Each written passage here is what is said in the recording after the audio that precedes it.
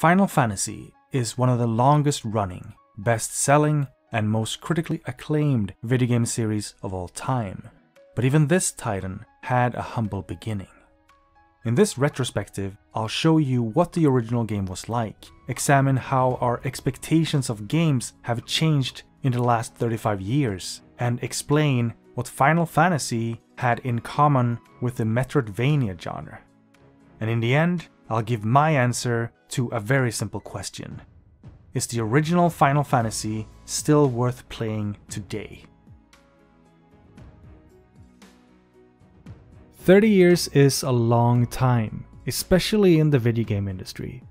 Comparing scenes from the original Final Fantasy with sequences from the upcoming Final Fantasy XVI must be what studying evolutionary biology is like.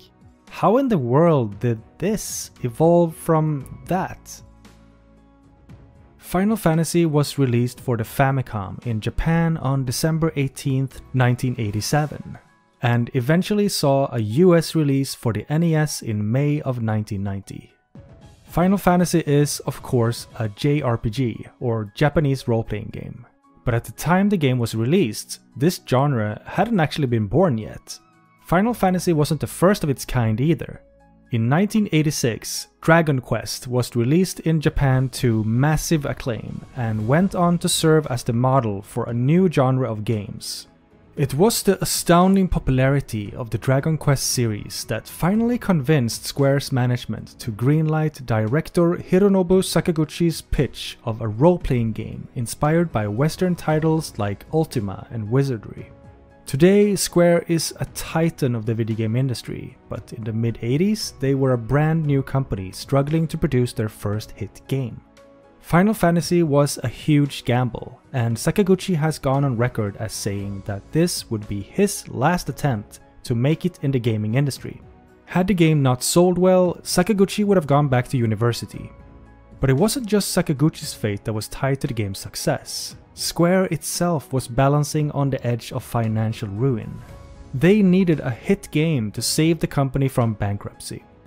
With Square's and Sakaguchi's fates tied up in the game's success, it's no wonder the title chosen for this ambitious project was Final Fantasy. Before we begin, I should mention that Final Fantasy has had a number of remakes over the years. These newer versions have improved on the game's graphics and audio, added some cutscenes and dialogue, and made an absolute truckload of improvements to the gameplay but for this video, I'll be playing and critiquing the original NES version from 1990. I mean, it wouldn't be much of a retrospective otherwise, would it? Final Fantasy doesn't waste time. Without fanfare, the game drops you outside the town of Cornelia. From this moment on, you're on your own. But right from the start, the game demonstrates its core gameplay loop intuitively. Walking around the wilderness will trigger random encounters with monsters that can be defeated to win experience points and gold. Entering a town or castle will provide you with a safe haven where you can recover at inns, save your game, and buy weapons, armor, and spells that make the hero stronger. Towns also feature NPCs that give you information about the world and where to go next. When you feel ready to tackle the next step of your quest, you can make your way to a dungeon, these caves, temples, and other locations are vast labyrinths filled with monsters, treasure chests, and deadly boss monsters that must be defeated to advance the story. When the game begins, you're restricted to traveling overland by foot, but as you progress through the story, you'll get your hands on a ship that lets you sail on the ocean, a canoe that can go on rivers, and finally an airship that soars over the world. Final Fantasy plays just like you'd expect from a classic JRPG, all the key gameplay components are here right from the start of the series. On the surface, at least. The real differences only become apparent when you look a little more closely. And we should begin by talking about the one thing the Final Fantasy series is most famous for. Its stories. Final Fantasy's story is weird. It is both extremely straightforward and ridiculously complicated. To say that Final Fantasy has a linear story would be an understatement. The game's plot looks like the love child between a broomstick and a lamppost. Basically, it goes like this.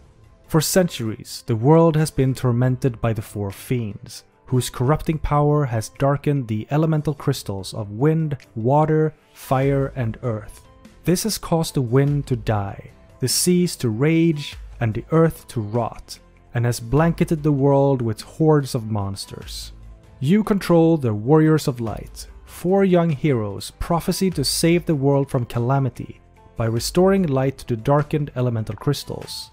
Ironically, the original US translation of the game had to call them orbs instead of crystals, because the word crystal was too long.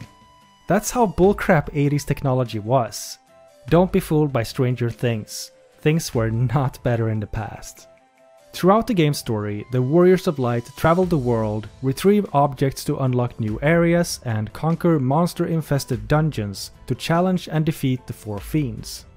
In the end, after a big and really confusing twist, the Warriors of Light travel back in time to confront the Archfiend, Chaos, and save the world. Don't get me wrong, there's nothing fundamentally bad about a linear story. Linear stories can tell some of the most gripping, satisfying tales you'll ever experience, including many of the best Japanese RPGs of all time, like Final Fantasy VII or Suikoden 2. The strength of a story is rarely in its ideas, but rather in its execution. The real reason Final Fantasy's story doesn't hold up today is in how it's told, or more accurately, how it's not told.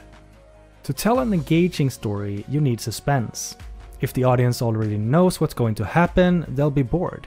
Suspense comes in so many forms. There's the tension of not knowing whether a character will survive a dangerous situation, there's the urge to know the answer to a great mystery, or to see how a character will react when they come face to face with the person who betrayed them. Final Fantasy has none of that. The heroes simply move from A to B to C, systematically erasing the four fiends and rekindling the light of the crystals. The only sidetracks they make are to obtain whatever key will unlock the next door that blocks their path. The story has no pacing, there aren't any setbacks, no moments of despair, no terrible reversals to raise the stakes of the story as the four fiends fire back. The forces of evil just hang back in their lairs and wait for the warriors of light to come pick them off one by one. The fate of the world hangs in the balance, but there's nothing in the game to really evoke the dire threat posed by the four fiends. The crystals have been corrupted, supposedly, which causes a lot of problems, allegedly, but the one time we do see the fallout of this corruption in the rotting of the earth that has left the town of Melmond in ruins and its people starving. It's an event that happened in the past and has very little impact on the heroes. There's also no sense of mystery. The game sets up questions, almost by accident, but they are never answered. We never learn why the traitor Knight Garland kidnapped Princess Sarah, we never discovered why the Dark Elf Astos has been beefing with the elves. We never find out who the vampire is or why the pirate Bikke invaded the town of Pravoka. Or anything really. There are almost no surprises. And when the game finally does attempt a big twist near the end, it does so in the most convoluted, confusing way imaginable. After the Warriors of Light defeat the Four Fiends, we suddenly learn that the real threat is in the past, 2000 years in the past to be exact. So let me try to wrap my head around this.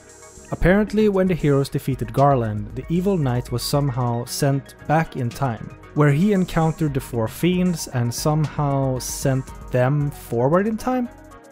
And this created a time loop that keeps repeating, making the four fiends and Garland effectively immortal. But wait, does that mean the four fiends didn't exist in the present time until Garland was defeated? Was the world totally fine until the heroes defeated Garland? But the sages say the wind fiend Tiamat defeated the Lefein people 400 years ago. So doesn't that mean the four fiends had been around for centuries? I... I don't know. Freaking time travel plots. I wonder if there was a popular film about time travel in cinemas in the mid 80s. Hmm. There isn't the slightest bit of foreshadowing either. This ridiculous twist comes out of absolutely nowhere. But to be fair, the Final Fantasy series is famous for its complicated, often confusing plotlines, so it's kinda cool to see that this was true from the very start. But as awkward as the game's story is, it's a minor complaint next to the bigger problem. If you were to ask a bunch of people to name the Final Fantasy series' greatest asset, one answer will, without a doubt, be more common than any other the characters. This franchise has such an amazing roster of memorable heroes and unforgettable villains, but here in the series' first entry, it would be a stretch to say the game even has characters. So much of what we've come to expect from a story driven RPG is missing in this first entry in the series. The four Warriors of Light are completely blank slates. They have no personalities, no feelings, and they don't speak a single line of dialogue. There are no cutscenes to build suspense for an upcoming confrontation or to celebrate a hard fought victory. There are no slower paced scenes to express the character's hopes and fears, show character growth, or let the heroes react emotionally to the events of the plot. These aren't characters to care about or even remember once you finish the story. They're simply the tools you use to play the game. Everything is extremely primitive. NPCs exist, but only a handful even have names, and their only purpose is to shove information down your throat, telling you about locations, items, and other characters in the game world, and providing pointers about the next step on your journey. One of the main draws of the JRPG genre is the promise of getting to experience a deep, rich story full of fun and memorable characters. That's not the case here. Without any of the ingredients that add spice to a story, the game's plot passes like a breeze, leaving no real impression on you as you move through the game. Nothing feels significant or real, and you almost forget you're playing an RPG. Final Fantasy's story has aged like milk. By every metric of modern video game storytelling, it fails. But this is a retrospective, so let's give credit where credit is very much due. Final Fantasy was one of the most engaging, well developed stories of its generation. It might not look like much today, but for the kids who grew up with the NES, it was a great leap forward. Final Fantasy was a product of its time, a time before the JRPG genre even existed, before the expectations we now have on RPGs were set. So it's only fair to point out that the Final Fantasy series was one of the key drivers of story and character in video games. Step by step, game by game, Final Fantasy helped set these expectations. Without Final Fantasy, storytelling in video games would not be what it is today.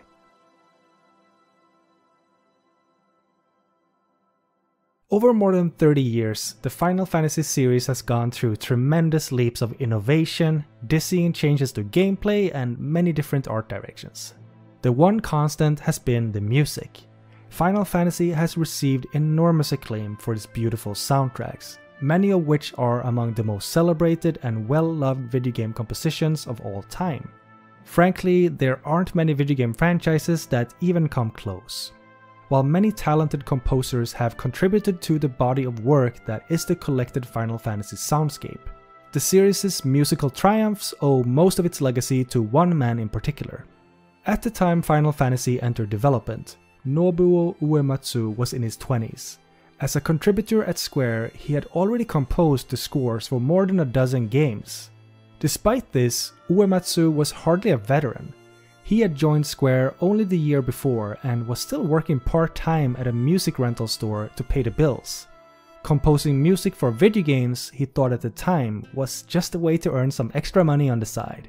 There's no doubt in my mind that Uematsu is one of the greatest composers of all time, and I don't mean just in video game music, I mean like in music, period. But with the Famicom's primitive sound chip, he had his work cut out for him. The 8-bit console was only able to produce a handful of sounds, all of which had a very artificial quality to them, and could be piercing and extremely grating when looped for long periods of time. Even as an early Miltard who grew up with the NES, I have to say that I can barely stand listening to this stuff today. I ended up getting a headache and turning the sound off, Mom, Dad, I'm so sorry. I honestly don't know how you put up with this crap. It's a shame because Final Fantasy had some really great compositions. The classic Victory Fanfare is here, Matoya's Cave is great, and the Final Fantasy main theme, aka Prologue, which plays when the heroes cross the bridge from Cornelia, is one of the most iconic pieces of video game music ever made. I found this hilarious comment while doing research, which calls it the national anthem of JRPG. Which is just, yes, yes. Uematsu and his peers have iterated on these musical pieces over time, making them more and more complex, but even the horrible sound chip of the NES cannot obscure the brilliance of the original compositions. There is one thing that almost all modern games have in common, regardless of genre, and that is tutorials. The first thing you'll notice when you start up Final Fantasy is the total lack of information. There are no tooltips explaining the character classes you choose from. You're supposed to buy your starting equipment, but the shops don't tell you how strong the different weapons and armors are. It doesn't even tell you who can use them. And if you want to learn a spell, you'd have to guess what it does.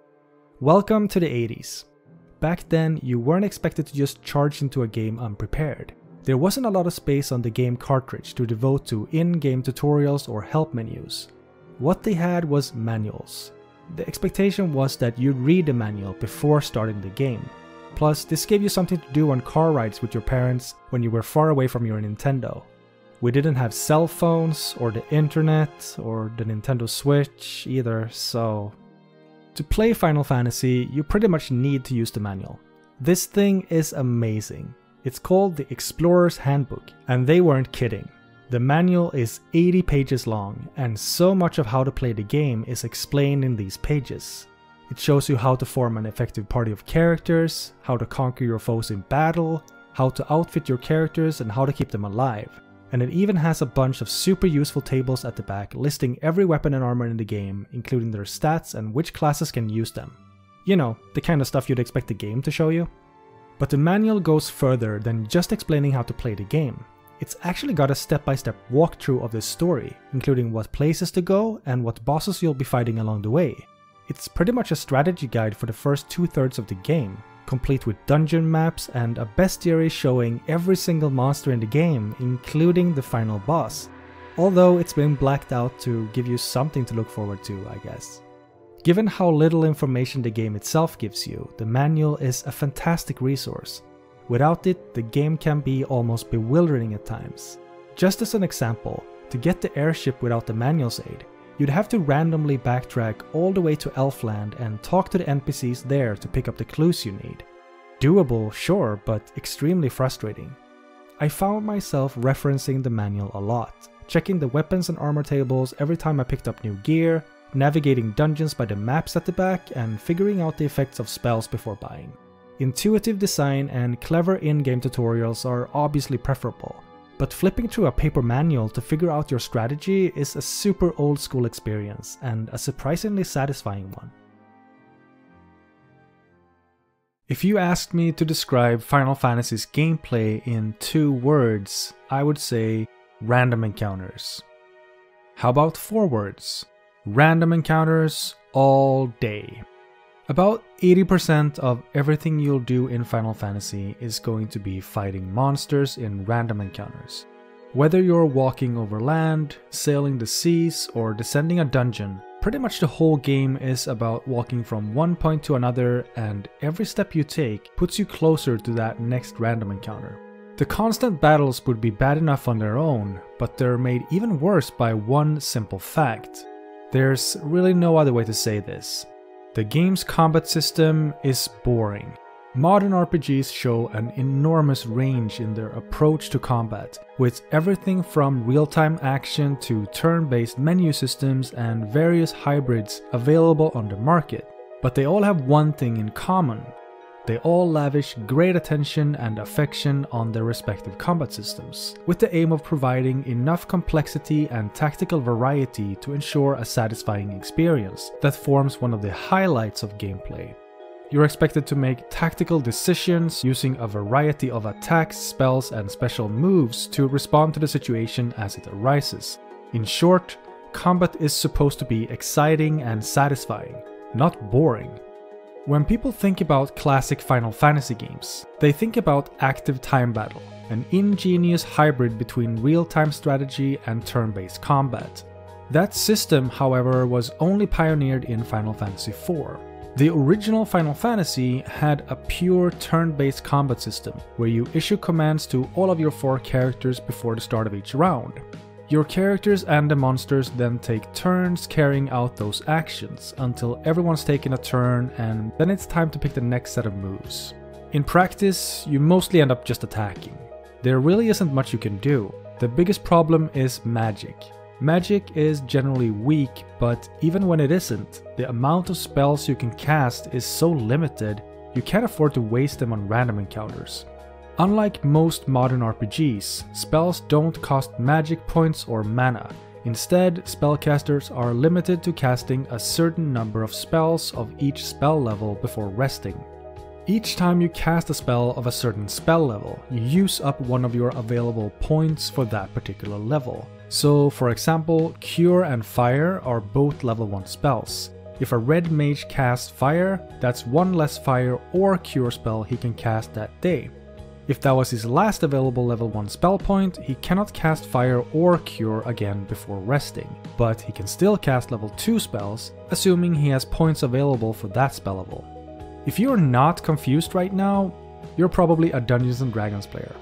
Yep, this magic system is taken straight out of the granddaddy of all RPGs, D&D. The number of spells per spell level is capped at 9, but even for level 1 spells, you won't hit that cap until the very end of the game unless you do some serious overleveling. Now, this system isn't inherently a bad idea.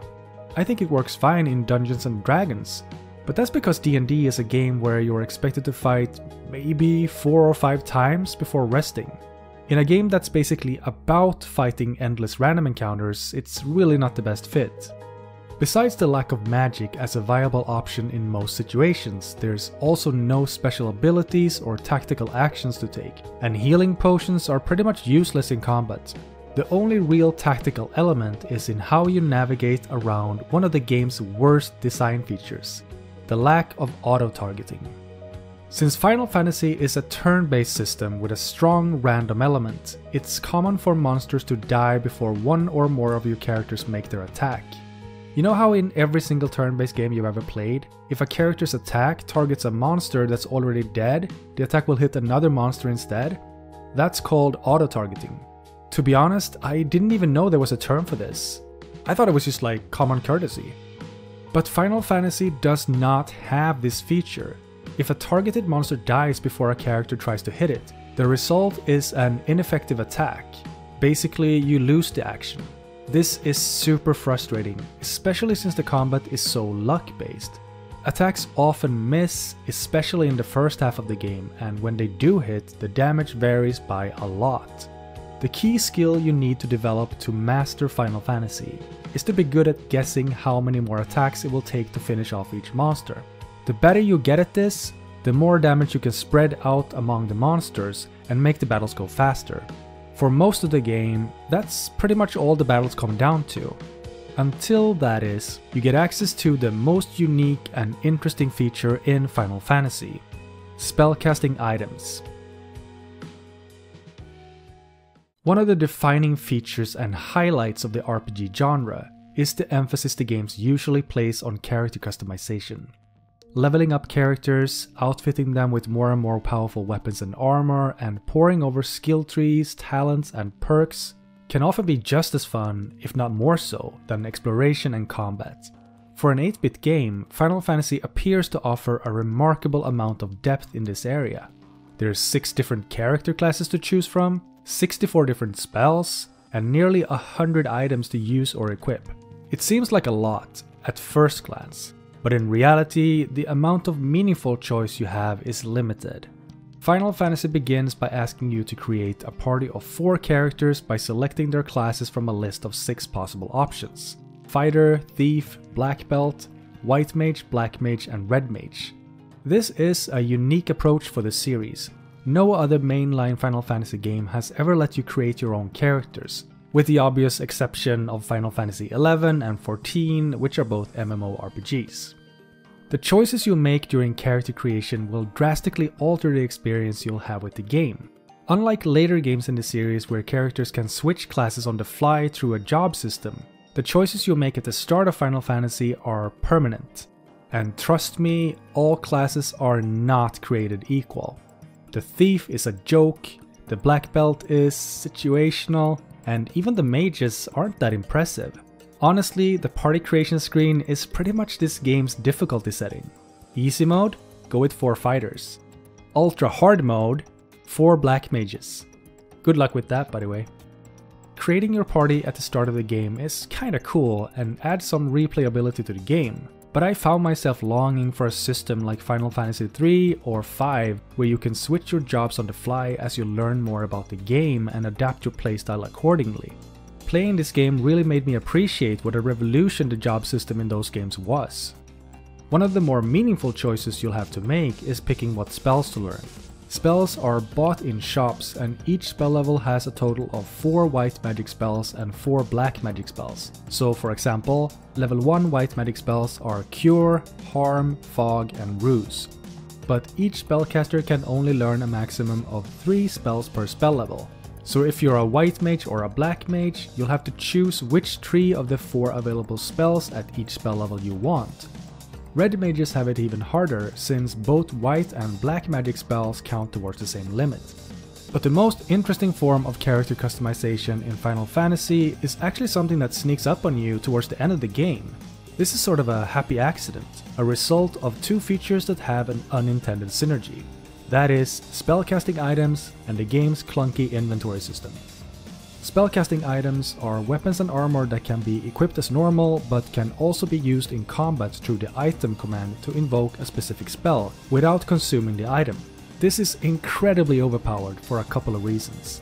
Firstly, because it breaks the game's magic economy, by allowing you to cast a spell every single turn without consuming any resources. Secondly, because any character can hold and use any spellcasting item, even if they cannot equip it. Spellcasting items are rare, and most are found quite late in the game, but when you do get them, they're a game changer. With just a couple of spellcasting items in your possession, suddenly your options in combat explode. Mages that used to be relegated to tickling monsters with pitiful physical attacks while saving their magic for boss monsters and emergencies can now cast spells every single turn. In a strange way, spellcasting items end up working a lot like materia in Final Fantasy VII. They give access to spells, but each one takes up a valuable equipment slot. Since characters in Final Fantasy are limited to carrying 4 pieces of armor and 4 weapons, in the late game you have some tough choices to make. Do you want to keep those gloves for the extra absorption, or would you rather have the black shirt that lets you cast ice too? Since any character can use any spellcasting item, you essentially get to build your ideal party by dividing these items between your characters as you see fit. Want to have a fighter that can be a healer in a pinch? Give him the healing staff. Want a white mage capable of offensive magics? Give him the Thor's hammer or the Zeus's gauntlet. It's actually pretty cool. As fun as they are, spellcasting items are representative of a deeper problem with Final Fantasy. The game balance is a joke. Modern RPGs are often carefully calibrated to ensure an experience where the player feels challenged without actually putting them at too great a risk of losing.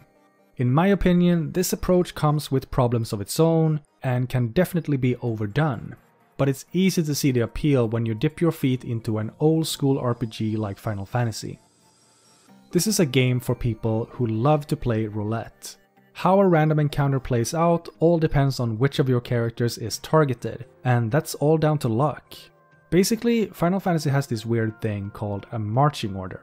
By hitting the select button outside of combat, you bring up a menu where you can arrange your party members from top to bottom.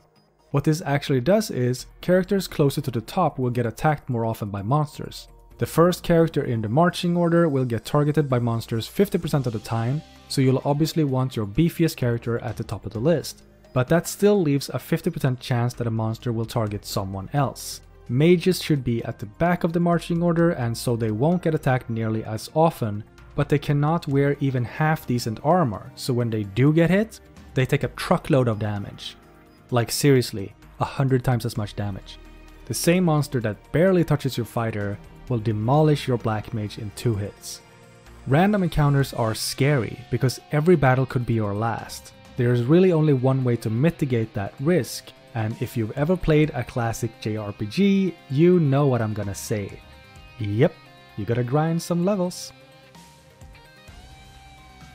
For a classic RPG, Final Fantasy isn't a very long game. Altogether, it took me about 22 hours to finish the story. Despite this, the game requires a great deal of patience to get through. This is because the vast majority of Final Fantasy's playtime is spent grinding for experience and gold. Final Fantasy is a game more about the preparations than the journey itself. You can head straight to the game's first dungeon, the Temple of Fiends, without even setting foot in town, but it will most likely result in a game over. You start the game weak, and it's your job to level your characters up and outfit them with the best gear money can buy before taking that next step on your quest. Leveling up is a slow process, especially in the early game, and gold is hard to come by. Each time you reach a new town, you'll have to fight a ton of random encounters to afford even a single upgrade to your gear. As an example, I spent 3 straight hours fighting monsters in the forest around Elfland to get the gold for a pair of silver swords. To be fair, those swords ended up being way better than anything I would see for a long while, and I think the game meant for me to buy them on the return trip, but given how hard the road ahead turned out to be, even with the silver swords, attempting the journey without them would have really sucked. Grinding for levels is important, not just because of Final Fantasy's unforgiving combat, but because of how stingy the game is, with the one thing that's always sure to lower a gamer's blood pressure save points. In Final Fantasy, you can only save your game by resting at an inn or by using a tent, cottage or house item on the world map. Dungeons have no save points, even before the final boss. That means you have to make it all the way through the dungeon and defeat the boss without ever saving your game. Yeah, Final Fantasy is not a test of skill or intelligence, but of endurance. The reality is that a single stroke of bad luck can end a run, setting you back an hour or more of progress, so it pays to come prepared. Overall, I'd estimate that I spent about half my time with the game straight up grinding random encounters to be able to safely continue the story. But as frustrating as the experience can be, I have to admit that the game's core model still works. Even in its most primitive form, grinding can feel incredibly rewarding. There's a real sense of satisfaction in getting stronger, seeing your bank account grow, or picking up a shiny new weapon or armor. Final Fantasy may be a simple tale, but it has all the appeal of a classic rags to riches story. In the beginning, you're running from wolves. At the end, you're flying in an airship and slaying dragons with Excalibur. It's no wonder this gameplay model has been so successful for 30 plus years. That being said, one thing I really missed in this game was getting item drops from defeated monsters. Yep, just another RPG staple that, surprise surprise, isn't in the original Final Fantasy. But for all the things I felt were missing in Final Fantasy, there were some other things I did not expect to find. I've already said that Final Fantasy has a linear story. The same is true for the game's level design. Mostly. At the time of its release, Final Fantasy's vast world map must have felt absolutely enormous, and would have been a huge draw. But this is not exactly an open world experience. While multiple locations often open up at the same time, there's usually a set order you need to visit them in. Sure, open world games do usually have a linear main story you need to follow, but they're also full of optional locations and side quests that can keep the player busy for hours on end without even touching the main quest line, and that's just not true here. But there are some exceptions. At its best, the game has surprisingly strong elements of one of the most celebrated styles of video game design, Metroidvania. Metroidvania games feature a large interconnected world where many areas and rewards are initially off limits and can be accessed only after the player gets their hands on tools, weapons, or abilities in the game, which usually also unlock shortcuts that reduce the amount of backtracking needed. You wouldn't normally associate Metroidvania with Final Fantasy, but it's really not that much of a stretch. Final Fantasy's world map is huge, but the Warriors of Light are at first restricted to the immediate area around Cornelia. After the heroes defeat Garland, the king orders the construction of a bridge that allows access to a larger section of the map, including the port town of Pravoka. There, the heroes get their hands on a ship that lets them sail around the Aldean Sea, giving them easy access to Cornelia and several new locations. Completing a string of quests rewards the heroes with TNT, which the dwarf Nerrick then uses to open a canal between the Aldean Sea and the ocean. This really blows the world wide open, by giving the heroes full access to the southern continents, while the northern continents remain off limits because they have no ports to dock the ship in. In the town of Crescent Lake, the heroes receive the canoe, which lets them dock the ship at river mouths as well as travel across and along any of the world's rivers. This is actually quite a game changer. Not only does the canoe unlock three new dungeons, Mount Gulg, the Ice Cave, and Castle Ordeals, which can be completed independently of each other and in any order, but the canoe also comes with another benefit. Rivers that once formed impassable barriers can now be effortlessly crossed, opening up a bunch of shortcuts all across the map. This benefit is powerfully demonstrated by the town of Crescent Lake itself, which is surrounded by snaking rivers that had to be bypassed on the long journey there. Textbook Metroidvania stuff. The design of the canoe is genius, and my only complaint is that you don't get it sooner. Finally, after completing the ice cave, the heroes can obtain the airship, opening up the rest of the world map and allowing you to quickly and easily backtrack to any location in the game. Not to mention that there are no random encounters in the skies. Overall, there's a great sense of progression to the game's level design. The way the world opens up step by step with the ship, canoe, and airship gives a feeling of freedom that's hard to beat even today. But enough praise, let's get back to talking about the game's flaws, shall we?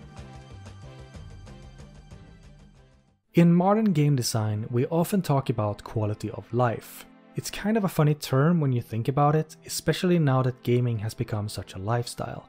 But anyway, quality of life refers to features or aspects of game design that help to make the experience of playing the game smoother and less frustrating. It's not so much about the core game design, but more about how you actually interact with the game. I basically see it as filling a similar role to user experience in software and web design, where the goal is to make the system's features and functions as intuitive, engaging, and satisfying to use as possible. Obviously, this means different things for different games, but I think we can all agree that there are good and bad ways to implement the same basic idea.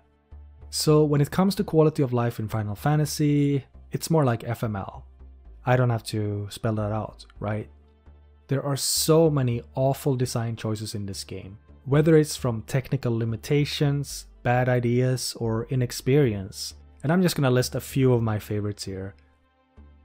Battles run really slow, all the combat information like damage numbers, critical hits and misses are shown through text boxes instead of graphics. You can adjust how fast these messages pop up on the main menu, but even on the fastest setting when you barely have time to read the text, this whole system eats up a lot of time. On the standard setting, it's pretty much unplayable. Weapons and armor shops don't show the stats of the items they sell, so you cannot tell if it's better than what you're already using. They don't show who can use the items either, you'll just have to check the manual. The same kind of thing goes for magic shops. They don't show who can use the spell, they don't show which characters already have it, and remember how each character can only learn 3 spells for each level? Well, there's no way to drop a spell you've already learned, so good luck if you made a mistake. Speaking of shops, there's also no way to buy multiple items in one go. You burn through a lot of heal potions in dungeons, so this can be a real pain. Check how long it took me to stock up on like 80 potions. Treasure chests have the same graphic whether they're open or closed, so you can't tell which ones you've already opened. Some spells like Life and Soft, which cures petrification, can't be used in combat. The game will still let you cast the spell, but it won't work. Inventory management. Oh, this deserves a video of its own, but I'll try to make it quick. Weapons and armor don't go in the shared inventory. Instead, each character has their own personal inventory for equipment. Each character can carry a total of 4 pieces of armor and 4 weapons. That means that if every character is already fully equipped, you'd have to discard one of those items before you can pick up something new and unless you have a guide at your disposal, you won't even know what's in the treasure chest until you've already thrown away a precious piece of armor or weapon to make space for it. Even with a guide, you're in for some tough choices towards the end of the game. With all that being said, one particular feature of Final Fantasy is absolutely, by far, the worst. Poison. The way poison works is a war crime. There's a pretty decent number of monsters in this game that can cause poison when they hit you with an attack. When a character is poisoned, they'll obviously take damage every turn in combat, and the condition also persists outside of battle, causing the character to take 1 point of damage with every step they take. Fair enough, but poison isn't cured by resting at an inn or in a cottage, so unless you have an antidote potion or a pure spell to cast, which is a level 4 spell by the way and costs a ton of gold to buy, your only option is to let the character die and then resurrect them at a clinic, which can also cost a lot of money depending on where you are. Even late in the game, when you're wealthy enough to keep a bunch of antidotes in your inventory, poison is still super annoying. The problem being that when a character gets poisoned, they're automatically placed last in the party's marching order. So every single time a character gets poisoned, you have to go into this submenu and switch them back. This is so annoying. It got to the point where I just groan out loud every time a character got poisoned. Oh, and one last thing before we leave this topic behind. The game only has a single save file. Not a big deal now, but can you imagine how many friendships this must have ruined back in the 80s? I will admit, it's kind of unfair to apply principles of modern game design to a game that's over 30 years old. It's almost like showing up at a kindergarten to critique the kids' drawings. But I do think it's worth taking a look at what kind of player behavior Final Fantasy's game design actually encourages. And this is what I found. Random encounters are frequent, tedious, and unpredictable. Healing is limited, there are no save points in dungeons. As a result, Final Fantasy encourages a safe, risk-averse playstyle. The smartest strategy is to fight monsters near town to grind levels, and then run from every single battle in the dungeons. The way it plays out almost ends up looking a little bit like a speedrun. Intentionally or not, the dungeons are designed to support this approach. The critical path for each dungeon, meaning the shortest possible route that will take you from the entrance to the end, is usually not that long. Instead, dungeons have extensive branching paths, loops, and dead ends that are either empty or hold treasure chests. From a decision making standpoint, I have to admit that this is an interesting design. Every time you hit a branch, you have a tough decision to make. Which way is the path forward, and which leads to more random encounters that will further drain your resources. Every time you choose to go for a chest, it's a gamble. The path to the chest will add steps to your journey, and many chests are also guarded by fixed encounters with extra strong monsters. Is it really worth it? This is especially true if you're playing without a guide, since chests can contain anything from 10 gil to a super powerful weapon. There's just no way of knowing until you open it. My favorite part of the game was the volcano, Mount Gulg. The dungeon has a sprawling, labyrinthine layout. It's covered in lava tiles that reduce the character's hit points with each step, and it has lots of optional treasure guarded by some really nasty monsters. All of these elements tie together neatly to create a feeling of mounting tension as you descend deeper and deeper into the volcano, further and further from the safety of your last save point. With each step and each random encounter, you expend more of your resources, and you know you've still got a deadly foe waiting for you at the bottom of the dungeon. It really does feel like a fantasy adventure. It's so tense.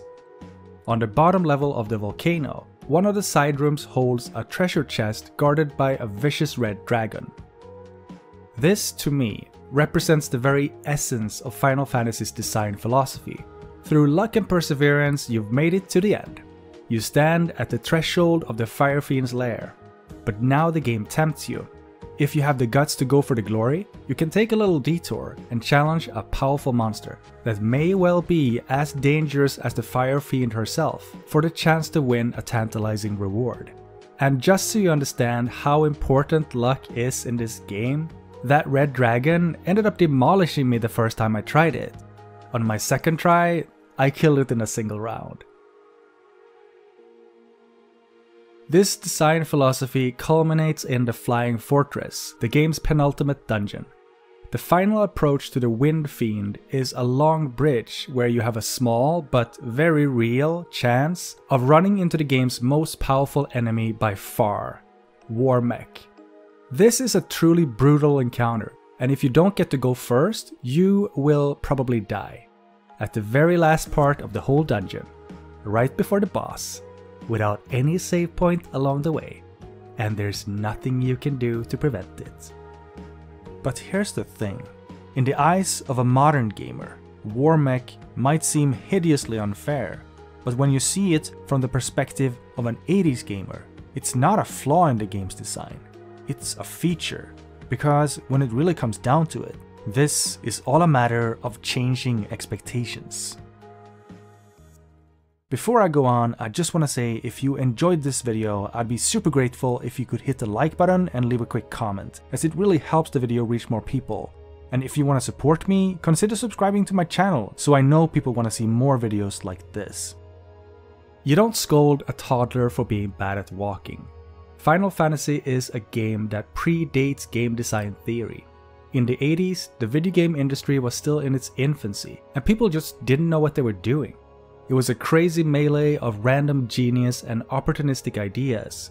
Final Fantasy was a flash of brilliance in a time of unbridled experimentation. It had enormous potential, but it was ultimately a product of its time. In an era when most console games were content to provide bite-sized arcade-like experiences, Final Fantasy served up an epic quest, a vast world to explore, and seemingly endless adventure so what if the game was linear? What it felt like you could go anywhere? So what if the battle system was slow and lacked tactical depth, when there were over a hundred different monsters to find and slay? These days, the vast majority of games are sold to you with the expectation that you will beat them. Games are curated experiences, carefully designed to deliver a fun and satisfying playtime in their own unique ways.